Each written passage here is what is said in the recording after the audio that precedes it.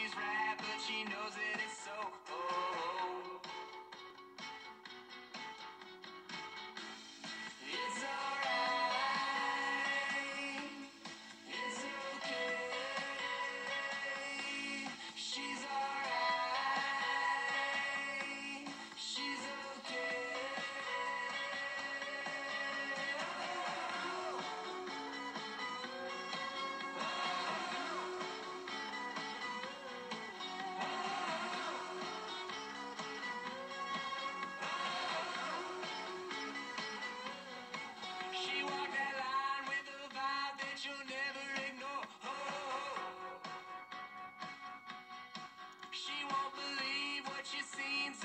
asking for